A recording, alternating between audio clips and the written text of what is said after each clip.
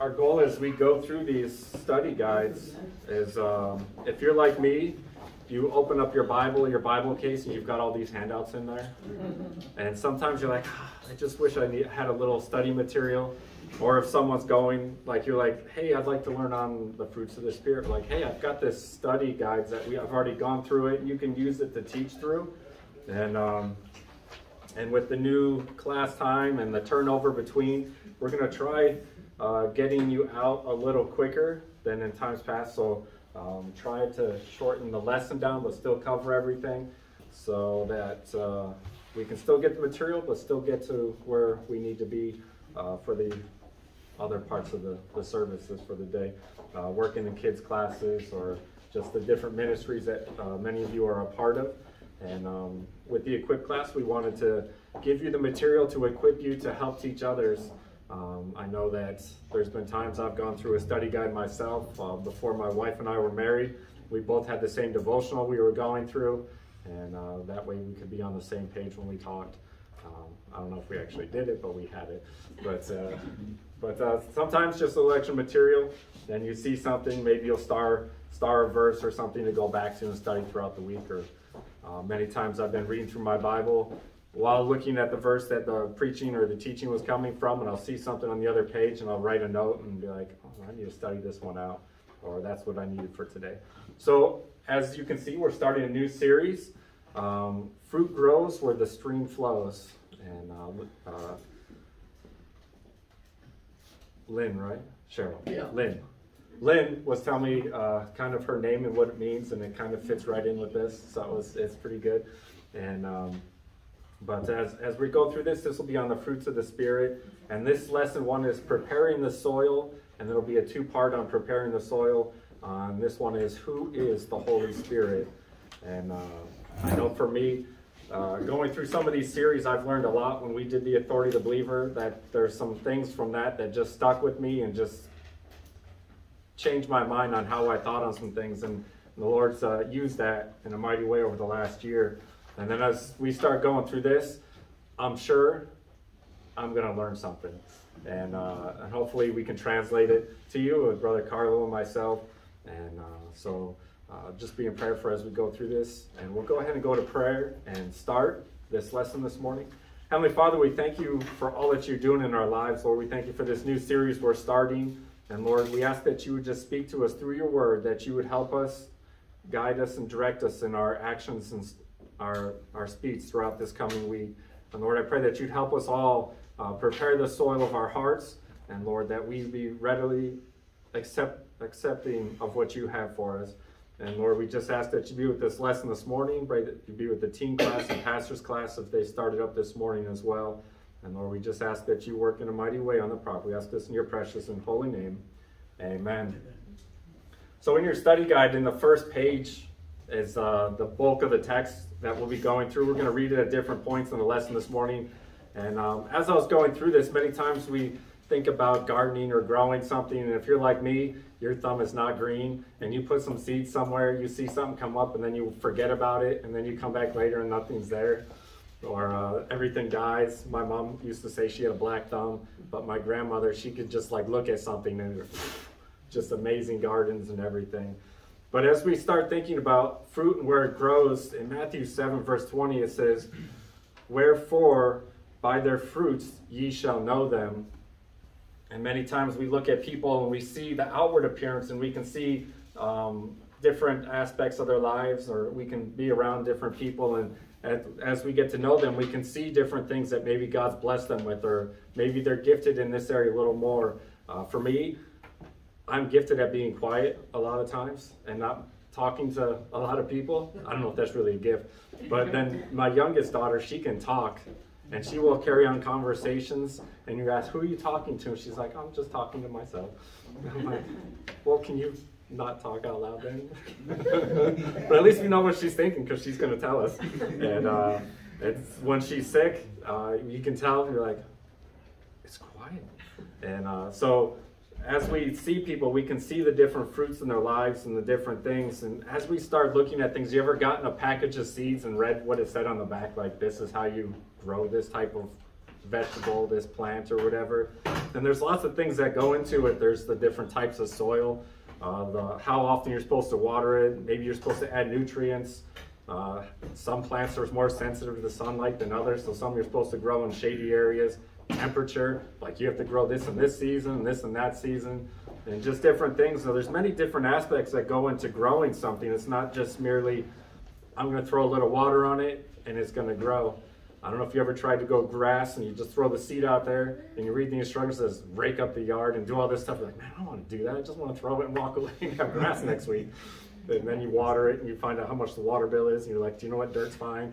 And uh, so there's different things that go into it. And if we want to have a productive garden or have something flourish, we have to do some research and find out what it is that is going to make that flourish. And does it need to have other plants in the area to pollinate the fruit and just different things and when's the right time to harvest it. And um, throughout the New Testament, we can see Jesus teaching the disciples, and we see him teaching in parables or allegories. And um, and I looked up a parable I was taught many years ago. A parable is an earthly story with a heavenly meaning. So it teaches us something how we can how we know something and relates it to something spiritual. And then the allegory is one of those literature terms and um, that show us basically pictures to interpret the hidden meaning of something um, using parables. So um, when we start doing things, um, for me now at work, when I get a new employee, one of the things I, I like to do is I'll sit and talk with them, say, hey, what's your experience level? What have you done? What have you done in the past? What have you worked on? And that way I can relate what we're doing to what they know. Be like, okay, so this is how you did it here. This is how we have to do it here now. And as we start studying the Word of God and doing these things, we're going to see things that maybe we can understand it the way we think or we understand something and we can relate it to what's being taught.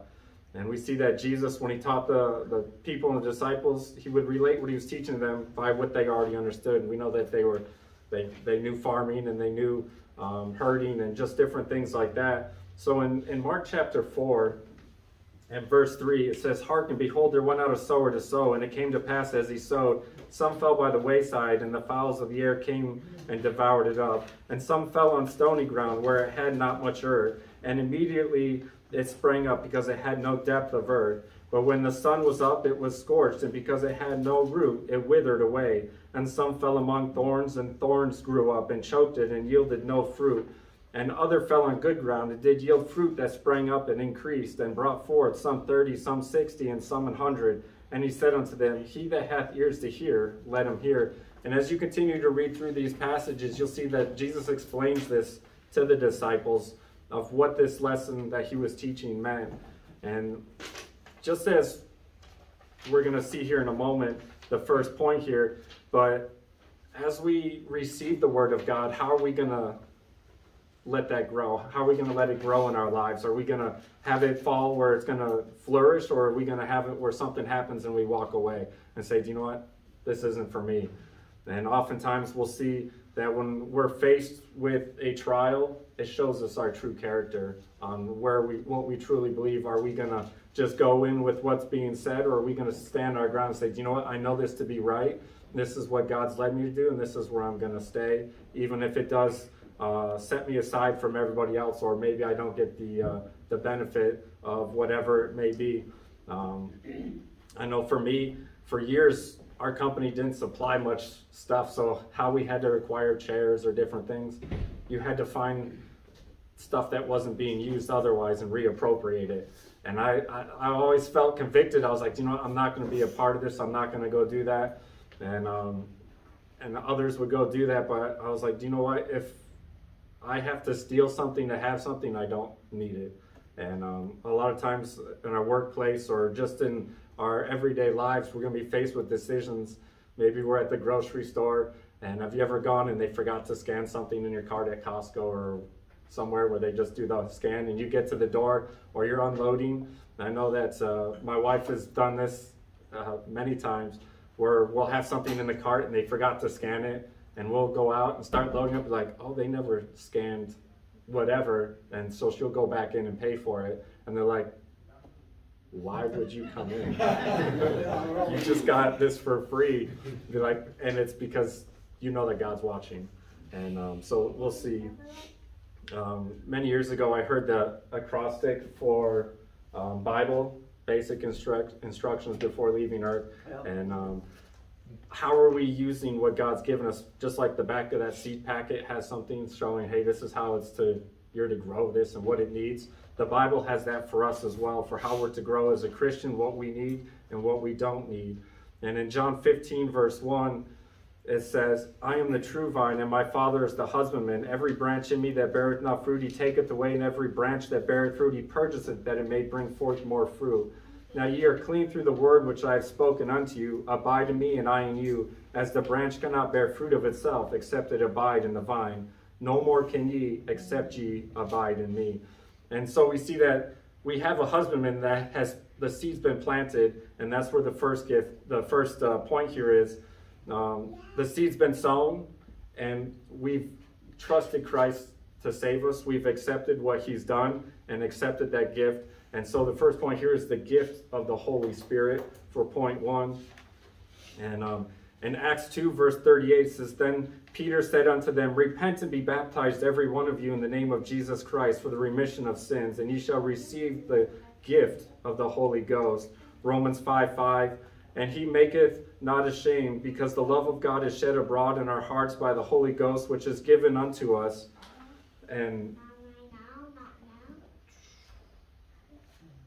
oh, I guess it was up there already. But uh, so we can see that there's a gift that's been given us, that seed's been planted, and now we have the Holy Spirit uh, living within us. And that's uh, point eight. The Holy Spirit is promised by Christ. And um, in John 14, 26, it says, But the Comforter, which is the Holy Ghost, whom the Father will send in my name, he shall teach you all things and bring all things to your remembrance whatsoever I have said unto you. In Acts 2, 1, it says, And when the day of Pentecost was fully come, they were with all with one accord in one place, and suddenly there came a sound from heaven as a rushing mighty wind, and it filled all the house where they were sitting. And there appeared unto them cloven tongues like as of fire, and it sat upon each of them and they were all filled with the Holy Ghost and began to speak with other tongues as the Spirit gave them utterance. And there were dwelling at Jerusalem Jews, devout men out of every nation under heaven. And when this was noised abroad, the multitude came together and were confounded because every man heard them speaking in his own language. And we can see that um, we'll see the fruits of the Spirit, but there's also gifts of the Spirit. And um, and when we get saved, God gives us each gifts and he may give you more uh, later on. But uh, God uh, enables us to do things when we get saved that we maybe never thought before. For years, I said I can't stand up in front of people. I can't teach. I can't preach. I can't do any of that. And that was my excuse for doing different things and why I wasn't doing things. But God gave me, um, basically, I had to step out in faith and say, you know what, I'm not going to let my fear stop me. This is the direction you want me to go. This is where I'm going to be. And then um, a lot of times we'll run from God's direction in our lives, and then we'll run into something. And then when we get there, they say, hey, you need to do this. And it's basically your employer telling you to do something that you were always afraid of, so you had to do it anyway. Uh, maybe speaking in front of people. And uh, as you continue to read through Acts there, you can see more of the get of what was going on there. And uh, when the Holy Spirit, the Holy Ghost came upon them, and um, in Acts chapter 2 and verse 41, um, we see that when they gladly received the word, they were baptized, and the same day there was added to them about 3,000 souls. And um, so we can see that as the Holy Spirit works in our lives, that we'll see changes and start doing things. And, and uh, when we have been promised that, we see that it's coming. A lot of the Old Testament, they were looking forward to that promise. And we have that promise given to us that we can uh, see and read that uh, they never had. And all we have to do is accept, repent, and believe what Christ has done on the cross. And uh, the next point here is um, the Holy Spirit is received at salvation. And John 3, verse 5 says, Jesus answered, Verily, verily, I say unto thee, except a man be born of water and of the Spirit, he cannot enter into the kingdom of God. That which is born of the flesh is flesh, and that which is born of the spirit is spirit. 1 Corinthians 6.19 says, What? Know ye not that your body is the temple of the Holy Ghost, which is in you, which ye have of God, ye are, and ye are not your own. For ye are bought with a price. Therefore, glorify God in your body and in your spirit, which are God's. So we see that the Holy Spirit is received at salvation. And um, I don't know about you. Have you ever been doing something and God just brings a passage of scripture to your mind? And as you're maybe making a decision or about to say something, God's like, answer not a fool. Answer a fool. And be like, but I had something really good to say. And God's like, don't. And uh, you're like, man.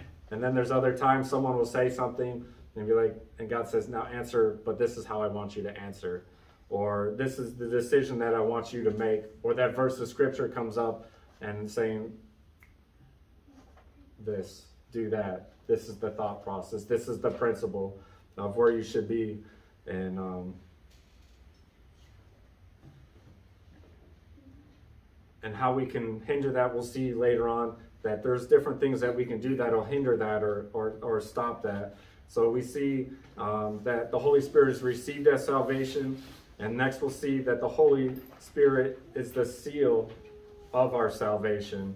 In Ephesians 1.13 it says, In whom ye also trusted after that ye heard the word of truth, the gospel of your salvation, whom also after that ye believed, ye were sealed with the Holy Spirit of promise and John 6 27 says, Labor not for the meat which perisheth, but for the meat which endureth unto everlasting life, which the Son of Man shall give unto you, for him hath God the Father sealed. And if you remember back in the Old Testament, they had to bring that perfect sacrifice, right? And they had to go through an inspection process. And much like when you go to the grocery store today or you buy anything, what does it say? Inspected or the USDA grade A or this seal. And you're looking for that seal to make sure it's of that quality and when uh, we get saved, the Holy Spirit stamps and says, You've been sealed. You have that, that mark of approval. And, um, and so we see that we have that seal at, at our salvation. And uh, saw that in those verses there. Um, and next, we're going to see is the growth in the Holy Spirit. Uh, just as we uh, plant flowers or plant fruits and vegetables or have that tree. Um, there's different things that have to go into the growing process. The kids, uh, Becca had brought home some seeds one time in a little, you put it in a paper towel with water and you stick it in and it starts to grow. But you know what happens when you leave it in that paper towel for too long? it starts getting really funky smelling. You're like, what is in this bag? Like, oh, that was our project from school. Be like, yeah, I think it was supposed to go in the dirt. and there's like, we have, we bought one of those little flower planter things. We keep it up on our, on our little balcony on our house. And um, every once in a while she'll plant something. We planted some stuff in there in the basil and some other things. And they actually started growing and then forget to water them and then they turn into brown sticks.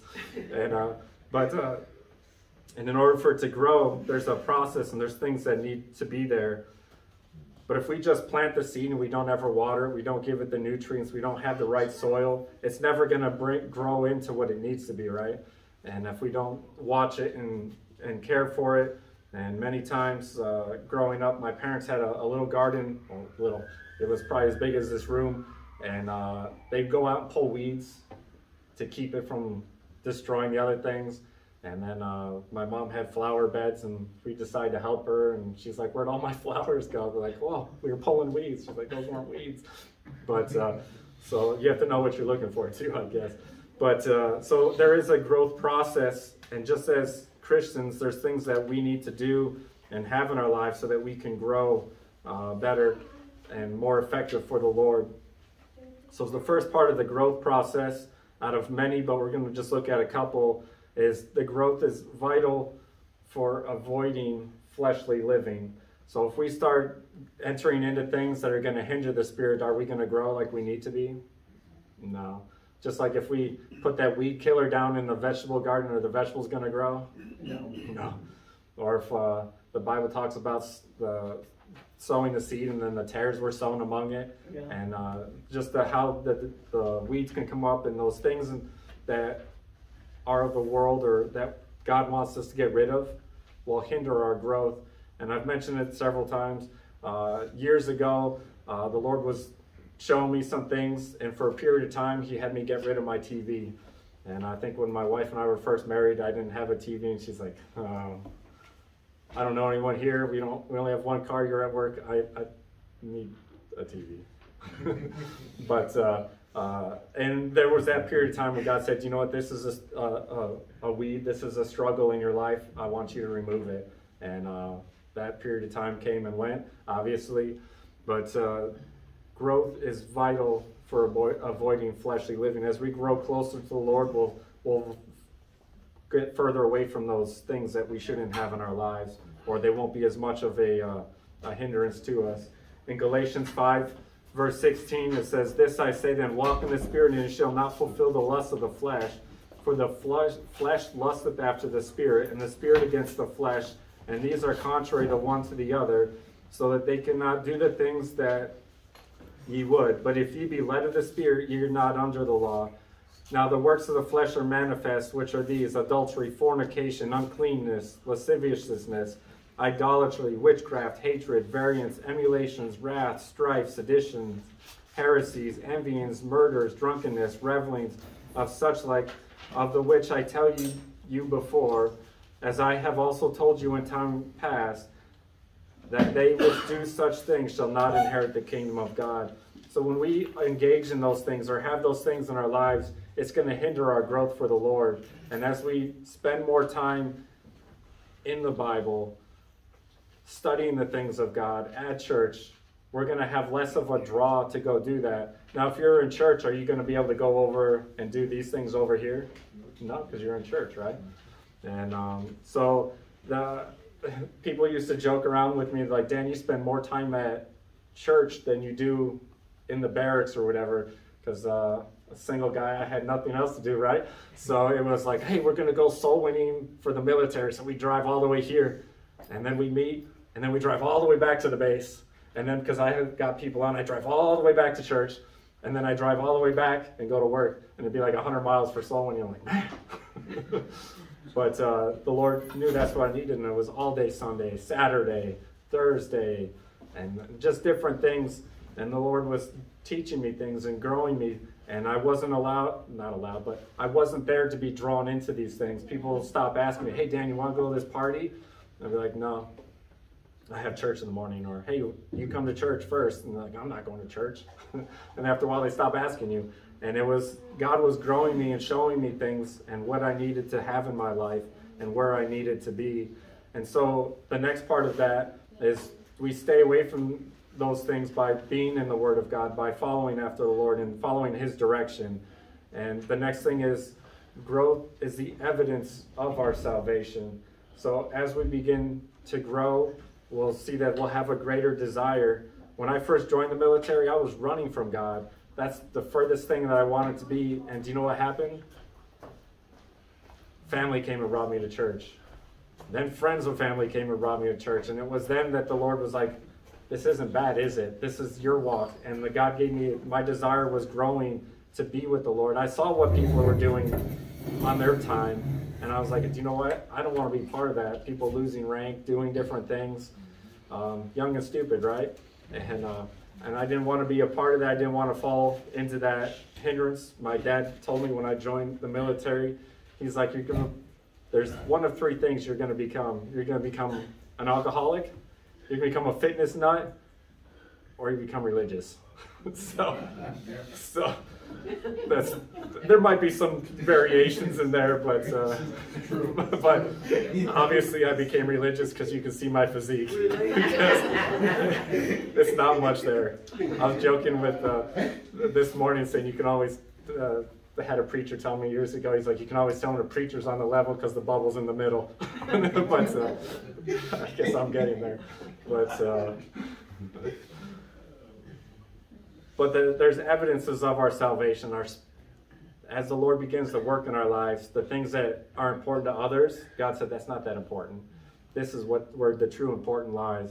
And uh, it's not to seek after these things. And if you seek after me, I'm going to take care of you. You're going to have these needs met.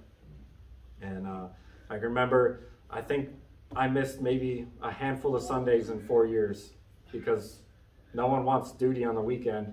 And be like, Or on a Friday night, they're like, so, hey, I'll take your Sunday duty if you take my Friday duty. I was like, okay. Or just uh, Lord gave favor in different areas. But so we see that there's evidence of our salvation in our lives as we begin to grow closer to the Lord. In Matthew 7, verse 15, it says, Beware of false prophets which come to you in sheep's clothing, but inwardly they are ravening wolves. Ye shall know them by their fruits. Do men gather grapes of thorns or figs of thistles? Even so, every good tree bringeth forth good fruit, but a corrupt tree bringeth forth evil fruit. A good tree cannot bring forth evil fruit, neither can a corrupt tree bring forth good fruit. Every tree that bringeth not forth good fruit is hewn down and cast into the fire. Wherefore, by their fruits ye shall know them. Amen. Not every one that saith unto me, Lord, Lord, shall enter into the kingdom of heaven but he that doeth the will of my Father which is in heaven. Many will say to me in that day, Lord, Lord, I have have we not prophesied in thy name, and in thy name cast out devils, and in thy name done many wonderful works? And then will I profess unto them, I never knew you. Depart from me, ye that work iniquity. Mm-hmm. Galatians 5.22 says, But the fruit of the Spirit is love, joy, peace, long-suffering, gentleness, goodness, faith, meekness, temperance. Against such there is no law. And as I was thinking about that, uh, many times I've read through that over and over. And uh, is it illegal to go out or drive under the influence of alcohol? Yeah. yeah. yeah. Is it illegal to just start fighting with people? Yeah. So that like we go through the the lust of the flesh, a lot of that stuff there's actual laws against. Like, hey, if you get if you do this, you're going to get arrested or you're going to get a ticket or whatever. But it, can you get arrested for loving somebody? I mean, if you do it in a weird way, maybe. be like, I love him so much, I stole this car for him. Be like, no, that's not how it works. But if you if you're peaceful, would you get arrested? No. Not usually, not unless you're it's like a peaceful protest doing done wrong. But if you're long suffering, if you're really patient with someone, you see these YouTube videos of different things where um, someone's just being really calm and someone's just yelling at them, screaming at them, spit flying out of their mouth in their face, and they're just sitting there like, "Are you done?" You're like, man, I know people that would have like karate or not karate, but like throat punched them or done something. But uh, there's no law against being peaceful, gentle, having faith, and we'll, and as you start thinking about that, like, huh I can see it's played out even in the world. And then uh, the next thing we'll look, look at is growth is produced as we walk in the Spirit. The closer we walk with the Lord, the more we'll begin to grow. And I can see that in my life. The times that I've drawn closer to the Lord and been seeking His His will and saying, Lord, if this is your will, I'm going to do it. I can see that I've grown. You mentioned that series, The Authority of the Believer. That was a big one for me and uh, oftentimes we get stuck in a mental box like this is where you're at. And for years I was stuck at like, hey, this is where you were when you stopped doing this. This is where you're at. This is this is the level you can get to. And as I started reading that and started grasping what was the Bible was saying, and just realized we're seated way up here. I don't have to let these things down here. And it was just for years the devil saying, you know what, this is where you're at. This is as high as you can go. And then the the, the word of God was saying, you know what? This isn't as low as you go. This is where you start. And uh, you're way above all that. You only have to be uh, hindered if you're willing to let that hinder you. And it was just uh, good for me. In Galatians 5:16, it says, This I say then, walk in the Spirit, and ye shall not fulfill the lust of the flesh. As we're walking with the Lord, and we I mentioned this a little bit ago, we're going to have less of a temptation to fall into those things, to do those things. And uh, people will see that in our lives and they'll stop asking and stop doing things. And every once in a while, someone might say, Hey, how about, and you're like, Do you know what? No. And then if you explain it to them a couple times, they don't want to hear it anymore and they stop asking. And uh, so uh, just start teaching the Bible to them if they keep asking you to do something you know is wrong, and they'll stop asking you most of the time. Uh, Joshua 24 15, and many of us have this maybe in our home somewhere. Uh, it's a lot of cross stitch work that uh, you see in people's homes or just a plaque on the door. In Joshua 24 15, it says, And if it seem evil unto you to serve the Lord, choose you this day whom you will serve, whether the gods which your fathers served that were on the other side of the flood, or the gods of the Amorites in whose land ye dwell. But as for me and my house, we will serve the Lord. So it comes down to a choice. Are you going to do this or are you going to do that? Are you going to follow God or are you going to do maybe what seems easy and, and do what everyone else is doing? And sometimes it comes with a little hardship or a little anxiety or whatever, but in the end, God says, now look back. See how much better you are for following my direction in this in this. And see where how where I brought you to. So the, the third point here is the goodness of the Holy Spirit. Many things, the only good things in our lives are the things that Christ has done for us. Amen. Where he's brought us through, what he's what he's given to us, what he's shown us, what he's taught us. And this comes only by supernatural kind of growth. Um, and it not only helps us, but enables us to be a blessing to others instead of a burden. And um, so, the first thing we're going to look at with this, with the goodness of the Holy Spirit, is the fact that His character is produced in you. Uh, many years ago, I heard it said, You'll become, I, I can tell you who you're going to become by who you're hanging around. Right. And um, we oftentimes hear you're the product of your environment. And unless you're willing to step out from that environment, you're never going to change. And uh, I remember when the church first started doing RU and learning those principles and the different things. And they said one of the biggest things when they send people to uh, maybe this recovery program out of state is they're not allowed to move back to where they came from because they're going to get back in the same crowd, they're going to get in the same influence, the same habits, and they're going to fall back into what they used to do. And many times when we start following the Lord and God said, you know what, I'm going to have you step away from this. I'm going to bring you here. And, um, and sometimes God may say, do you know what, I want you to move away from your family and friends and be here and help with this and do that. And it may not be because your family and friends were wrong, but it may be because God said, you know what, if you're with family and friends, you're not going to be doing this like I've called you to do or what I've asked you to do. And for many years, I've been praying, like, Lord, why, why would you have me two, three thousand miles from the closest family member? And then sometimes when I go back and visit, I'm not in church as much, thinking, huh, maybe God knows that if I'm near family, what do you tend to do? Like, hey, the family needs help on this, so I'm going to go help them and not be there. And then be like, hey, family, if you want us to move there, you need to get in church more. That way we can be with you. God's waiting on you for me to move there. I don't know if that's true, but it's a good get them in church that way. But uh, so we'll see that his character is produced in you, and uh, fruit is the outward appearance of what is happening on the inside. In Hebrews 13, 15, it says, By him, therefore, let us offer the sacrifice of praise to God continually. That is the fruit of our lips, giving thanks to his name. Are you thankful? Are you can you tell when someone's not being very thankful? There's like you help them with something they're like thank you, or they're like thank you. You're like okay, you can tell where their heart's at, and then like I'll be like sorry. They'll be like you can tell like they're not really truly sorry. And be like, don't say sorry unless you really mean it. Be like, why aren't you saying sorry? Because I don't mean it. but um, you can see where someone's heart at is by um, what is shown on the outside. Uh, I thought it was funny a couple, maybe a month or so ago, I was working with some coworkers and uh, and they were had to do something I normally do because they didn't have any work, so they were doing some of my my work for me while I was doing other stuff. And they're like, Dan, I don't understand why you don't swear doing this. They're like, I've never heard you swear or do this. And I can't stop because I don't like it. And he's like, I don't like doing this stuff. I don't know how you can be so happy. And it was just, I just kind of chuckled, like, I never thought of it that way. But when you have uh, a different speech pattern, when you have different thoughts, I guess you handle things differently. But I, I just thought it was funny that something I don't really broadcast or think, but other people notice. And as you're walking with the Lord, people are going to notice things in your life that are different.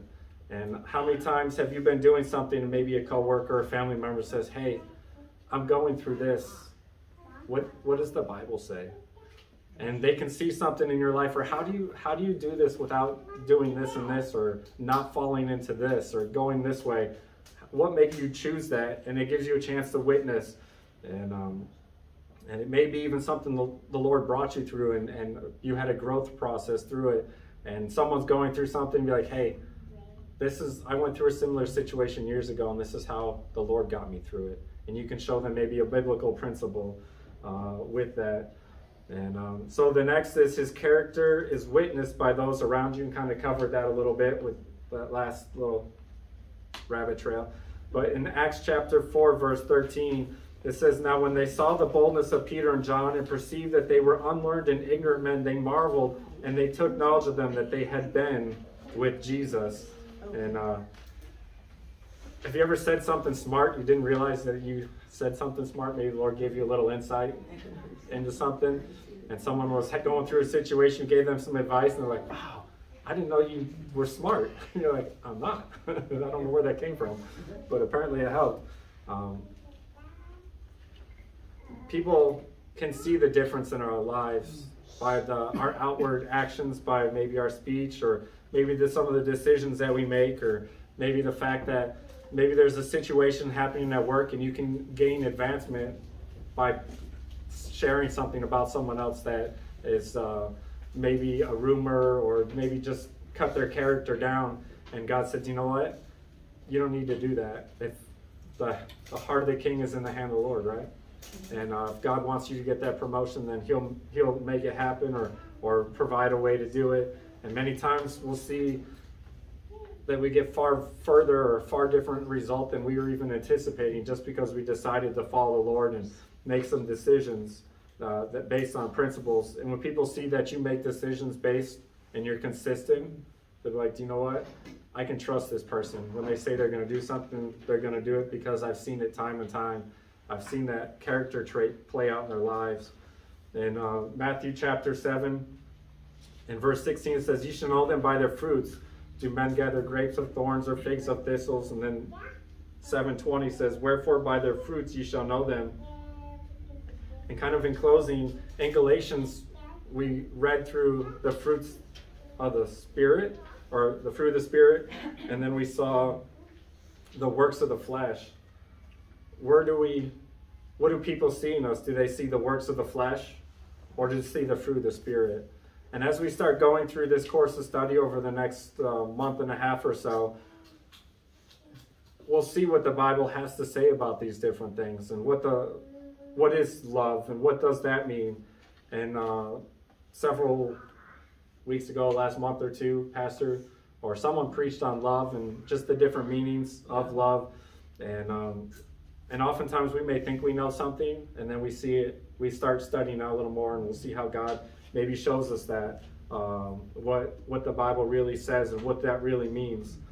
And um, just as you go through this week, just examine your life. Be like, what what have what's being shown in my life, or maybe ask someone close to you that you trust and say, hey, what do you see in my life? Do you see any of these works of the flesh, or do you see fruits of the spirit? Or maybe, like most of us, there's a little bit of both, and be like, how do I move from the works of the flesh to having more fruits of the spirit? And um, I'm looking forward to this course of study to see what the Lord has for us and uh, where we're to go on this. And um, so uh, that's pretty much the lesson for this morning. And uh, trying to get a, a, a, foot figure out how this is all going to work out with the timing. And uh, not we're doing pretty good. So uh, we'll go ahead and pray, and then uh, there's some coffee and donuts, and then we do have to tear the classroom down again, set it so that it's ready for the school on Monday, I guess. And uh, so we'll just put up the chairs. But this want to give everyone ample time to get to um, maybe choir or kids class or wherever it might be. Heavenly Father, we just thank you for this lesson this morning on who is the Holy Spirit, and Lord what things we can do to draw closer and things that are evident in our lives when we are walking with the Spirit. And Lord, I pray that you'd help us all to draw closer to you. Show us this week maybe areas that we can improve and areas that we can uh, just uh, clean up in our lives or or just uh, continue to study out. Lord, we pray that you be with the, the services to follow and Lord, we ask that you bring us all back safely next week. We ask this in your precious and holy name. Amen. Amen. But Brother Aga, yesterday the Lord gave insight.